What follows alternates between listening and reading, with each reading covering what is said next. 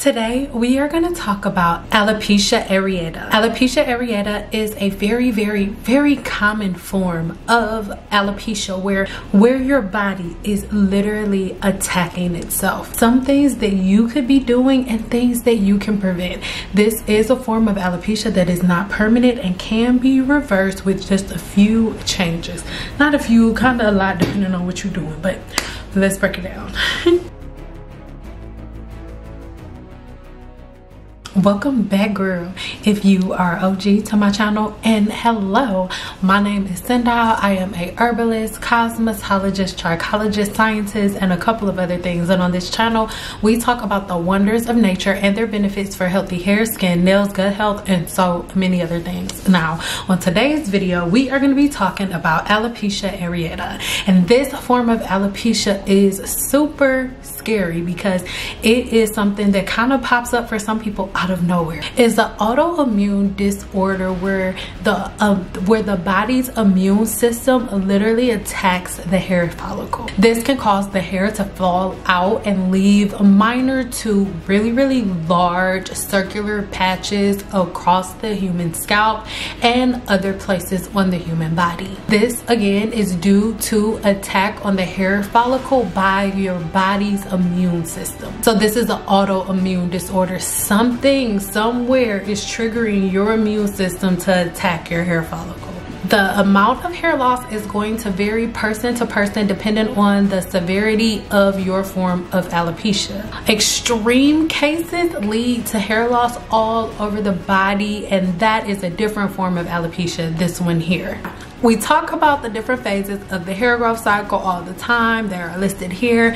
And when you have this form of alopecia, what it does, it attacks the hair growth cycle. And instead of your hair growth cycle going through all of these phases, the telogen phase is the resting phase, whereas this phase, the canogen phase, is the phase where the hair shaft detaches itself completely from the hair's follicle, from the body's blood supply. Even though there are a whole lot of theories around, scientists have not been able to trigger the exact cause of this autoimmune disorder. Now, there is something within certain patterns that trigger this disorder, but again, scientists do not know what it is. Now, there are some common causes. One of the main common causes, of course, is um, genetics. Now, whenever something says, I say this all the time, whenever a disease or a disorder says it's genetic, that doesn't mean that, oh, because you come from this bloodline, you're automatically, you will automatically have this disease and there's nothing you can do. No, most of the time in certain bloodlines, everybody eats the same, they pass on the same recipes, pretty much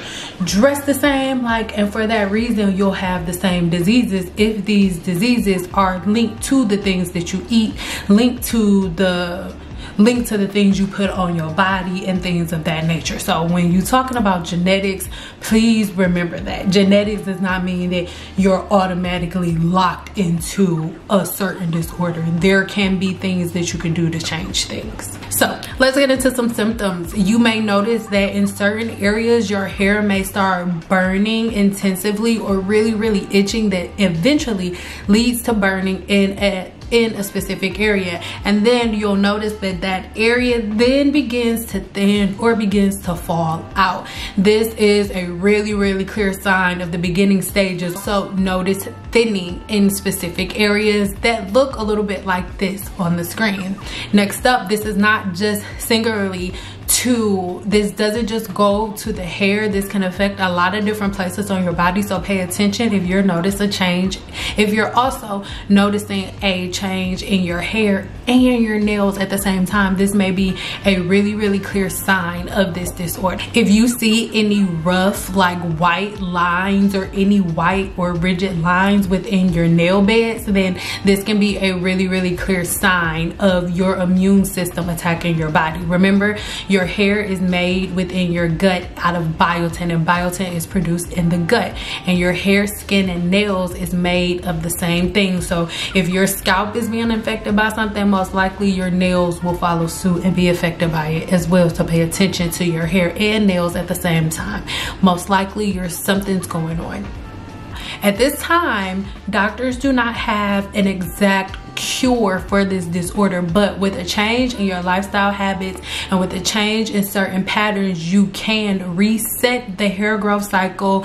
Reducing the amount of inflammation within the body can cause you to reverse the effects that this autoimmune response in your body is causing. So by you slow by you lowering the causes because remember doctors don't know the exact thing that is triggering this auto this autoimmune disorder. So by the end of this video we're gonna go over a couple of different things that you can do to keep your body from having that autoimmune response. As the things that you are putting in your body and on your body as they go into as they're absorbed into the skin and as the as your body as your body breaks down different things and pushes them out.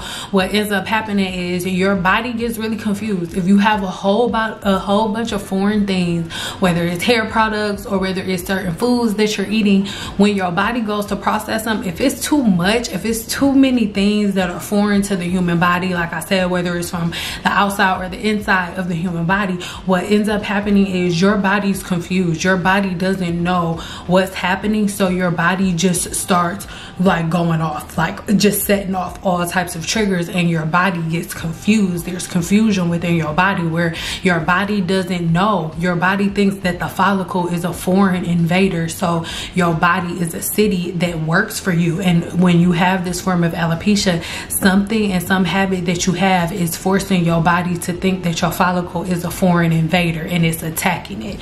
So now we have to lower that we have to lower the threat. Your environmental factors can have a lot to do with it. If you live for example if you live in las vegas nevada and you're always outside and your follicle has really really really heavy sun exposure let's say you work in construction and you wear a hard hat but maybe you don't sometimes that type of sun exposure can really really wreak havoc on your body's immune system especially if the sun is shining directly on the scalp. It can make your body think there there's a, some type of foreign invader within the follicle and it'll it will attack again this form of alopecia again is an autoimmune response right? So if you are packing the hair full of butters and full of oils if you're trying a whole bunch of homemade products on the hair like for example rice water rice water is a is a protein treatment but it's a live active protein treatment. So if you've been putting that on the hair for long periods of time and that live active bacteria is going into the hair's follicle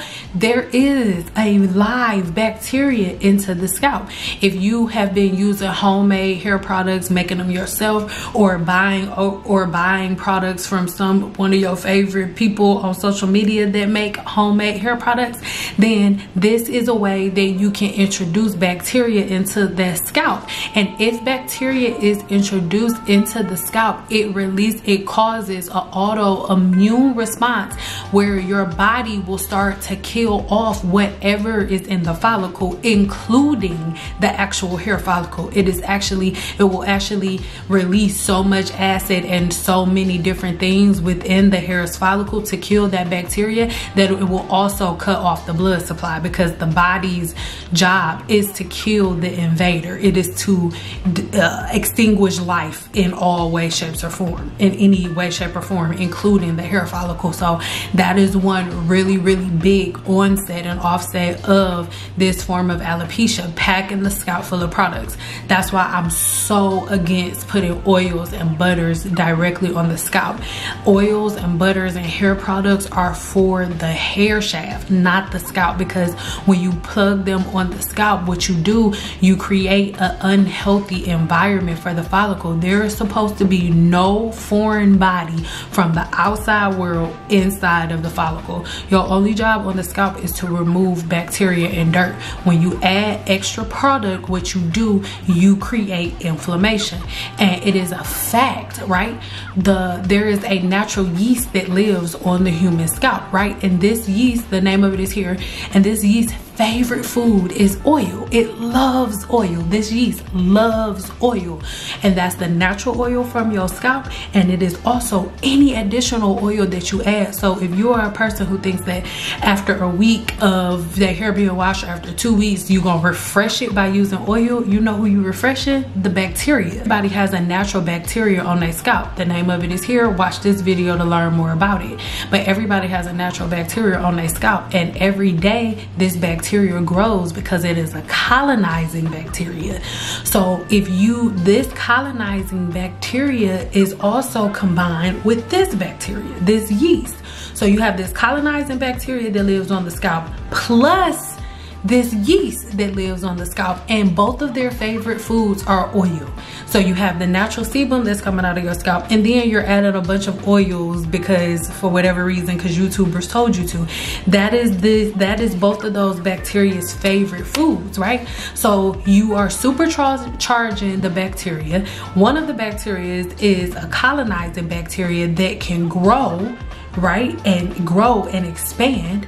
So you're feeding that bacteria. So as this bacteria is growing, its favorite place to be is inside of the hair follicle. Why? Because the hair follicle has a sebaceous gland that produces its favorite food, which is sebum, aka your natural oil. So all of the bacteria lives within the hair's follicle. And the more bacteria that's in the follicle, the body sees that as a threat. So the body begins to attack the hair follicle and to kill everything that lives within the hair follicle, including your blood supply, including your actual hair shaft, because your your follicle doesn't know what's going on. Anytime you grease the scalp, you're adding a foreign body. I don't care what type of oil it is. I don't care if it's a zero on the comedogenic scale. Anything you put on the scalp is a foreign body. It's something that's not supposed to be there, and your body is going to take that as a threat. So when it comes to this form of alopecia, when you are putting, if you have product buildup, it is one of the main leading causes for this autoimmune response that your body is letting off or auto-inflammatory anytime something like that is happening what's happening is your body is responding to something that you're doing. The body is responding to either stress your environment or things that you are putting on your hair or things that you are putting inside of the body. But at the end of the day all of these things can be fixed by you making subtle changes. So let's get into some of those let's get into this new blend. Oh my god i'm so freaking in love with it. Just look at it. Just look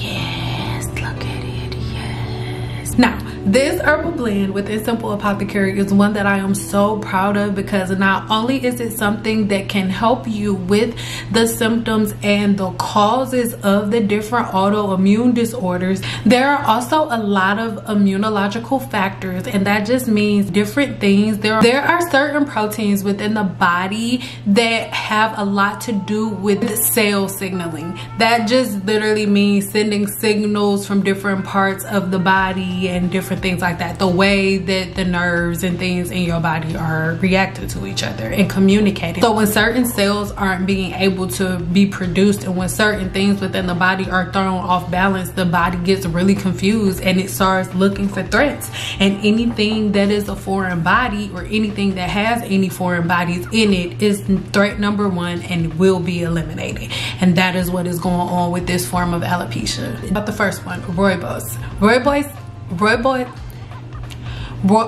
Roy Rooibos, rooibos. Why can't I say that? Rooibos is an amazing herb. Oh my God, I'm excited that I was able to get this herbal blend all together for you because, oh, listen. This is a South African herb that is so rich in antioxidants, particularly flavonoids. Make sure you check the link in the description box below so you can see the full, long, nerdy, detailed breakdown, but I'm just giving you the short version. Antioxidants and the antioxidants found in this herb can widely reduce the amount of oxidative stress within the body and inflammation. And with, ox with massive oxidative stress, with massive oxidative stress and inflammation within the body that can definitely trigger your immune system to think that there's something wrong and attack the follicle. So by you lowering the amount of oxidative stress and and inflammation within the body you will lower the body's immune response to this disorder. Cinnamon is another one that is known for its amazing anti-inflammatory properties. It also has apple slices in it and apples are another thing that is freaking amazing. I know y'all like apple cider vinegar but we're not doing apple cider vinegar. This is a different type of apple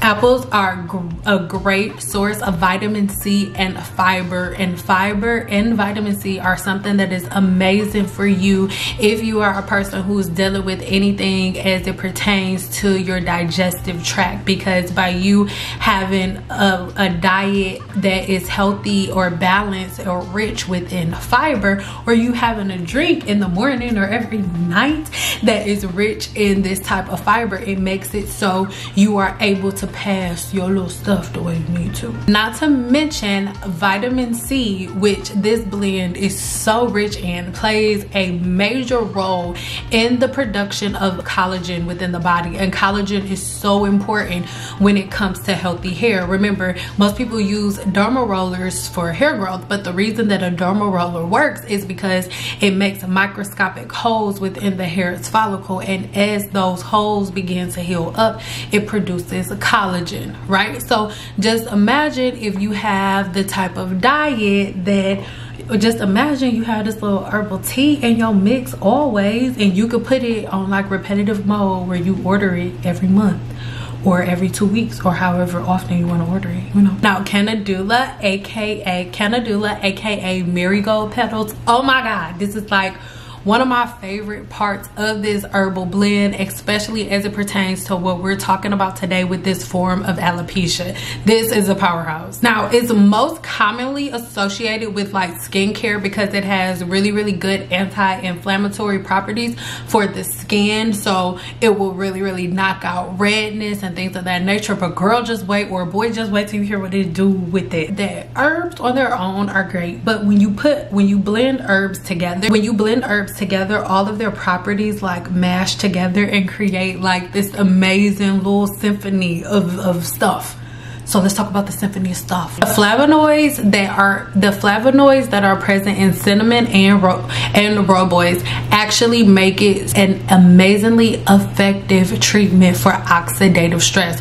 We talk about that all the time, but if you are a person who has your immune system attacking itself, it is so vitally important that you reduce the amount of your body's oxidative stress and cinnamon and rooibos together are freaking freaking amazing at reducing it. It's something that you'll almost notice instantly like the first day of you drinking this blend. Remember the cinnamon is really really gonna work hard at reducing the inflammation within your body on an internal level. Next up the apples. Oxidative stress has a direct link to autoimmune disorders. By you having oxidative stress within the body, it triggers so many other things to go on. And then the ending cause or the ending effect of it is the balding from the autoimmune disease. Because by the time, by the time your immune system responds, that's it. You going bald, girl. Your immune system, that's the big gun. Once the immune system come through and start killing people, that's it. Everybody 高. Number two is going to be immune system modulation. Now, the reason that immune system modulation is so freaking important is because when your immune system is going haywire or when there are different things going on in your body that you're trying to heal your body from or even if you are dieting and you're you're losing massive amounts of weight and your body is going through any type of drastic rapid changes, sometimes your body is going to think that it's something wrong and sometimes you do have autoimmune responses but by you ingesting this tea mainly because of the marigold petals that are present. Marigold petals help the body to regulate its autoimmune responses. So basically by ingesting this tea on a regular basis if you are going to have an autoimmune response that's kind of for no reason your body is kind of not so stressed out. It has a really really common effect that basically has your immune system think about what it's gonna do before do it. A little bit like chill, girl. Stop acting like that. It ain't even nothing wrong. Relax that's what the mirror goes to to the hair follicle. Stress reduction oh my goodness. You have an autoimmune disorder the one thing that's going to trigger it is stress. Stress is the leading cause for so many diseases so many disorders and especially so many different cases of balding. When you stressing out one of the first things that's gonna pop up is a bump and a bald spot. Rooibos is known for its calming effect for the body and from it having this amazing common effect on the body it directly affects the way that your body is responding whenever you are having anything that can result in an autoimmune response. Digestive support. Cinnamon has been found and known to support the body in digestive health. So if you're having a problem going to the bathroom and stuff like that then what you want to do is go ahead and invest in in this tea because what it will do this combination of tea and all you need is a little itty bitty bit a little bit goes a very long way. And once you use this blend you will notice that your stress levels are going to be decreased and you will also notice decrease in the amount of autoimmune responses that your body is having. And that will directly affect the way that your hair skin and nails are going. If you want to learn learn more about autoimmune and auto-inflammatory disorders then make sure you check the video link make sure you check the videos linked in the description box below along with the blog post attached to this because there is way more information there. I can only give you surface level information on this video but if you need more or you have more questions or you want to get your hands on this blend click the links below. I love you guys so much. Thank you for watching this video. Bye